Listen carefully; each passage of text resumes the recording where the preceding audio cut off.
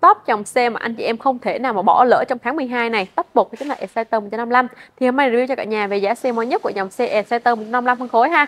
À, bao gồm là màu zin và đặc biệt hôm nay là quay về phiên bản giới hạn cho anh chị em luôn. Nhiều bạn đang quan tâm thắc mắc thì đối với dòng xe này đang hỗ trợ trả trước chỉ cần duy nhất là 4 triệu đồng là sở hữu xe ha. Ngoài ra khi mua xe có đặt lịch hoặc là liên hệ trước cho em Luyến có số hotline 0346 552 628 còn được hỗ trợ giảm thêm 2 triệu đồng xe đi lại. Kèm thêm là một combo quà tặng trị giá 3 triệu đồng cho anh em khi áp dụng giá và ưu đãi duy nhất khi có liên hệ trước cho em Luyến nha thì à, đi vào báo giá cho cả nhà cái bên đây là về màu sắc trước thì thực ra thì bạn giới hạn thì năm 2023 cũng rất là nhiều màu sắc đẹp cũng nhờ lạ luôn cả nhà. Như là em xe màu đen nhám, mâm vàng đồng này.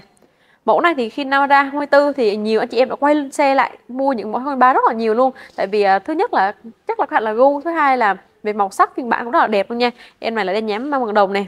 Tiếp kế tiếp là em xe màu à, xám đen. Đây quay về bên đây trước nha, xám đen phiên bản à, mâm màu xanh này.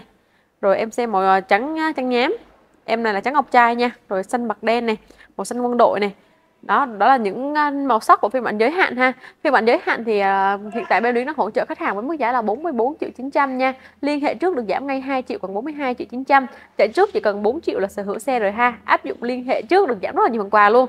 Thì về phía bên này thì có cả phiên bản um, cao cấp và phiên bản uh, tiêu chuẩn nha. Đây, là các em xem màu à, màu à, cam nhám này có màu đỏ bóng và màu à, đen bóng nữa. Đó là phiên tóc những màu sắc của phiên bản tiêu chuẩn ha. Có màu đỏ nhám và đen nhám nha cả nhà. Mức giá hiện tại đang hỗ trợ cho anh chị em là 41 triệu 900 đối bản tiêu chuẩn và 43 triệu 900 đối phiên bản cao cấp hỗ trợ chỉ cần trả trước 4 triệu là sở hữu xe nha. Liên hệ trước cũng được giảm thêm 2 triệu. Thì ngoài ra bên luyến có hỗ trợ là thu xe cũ, độ xe mới giá cao này hỗ trợ là sơn độ màu theo của khách hàng. Hoặc là anh chị em không mua xe, có người thân hoặc bạn bè muốn mua xe, dẫn tới cửa hàng alo trước cho luyến để luyến hỗ trợ xăng xe đi lại cũng như là hỗ trợ gửi hoa hồng từ 1 đến 1 triệu rưỡi nha. Con số hotline là 0346 552 628 nha. Cảm ơn cả nhà.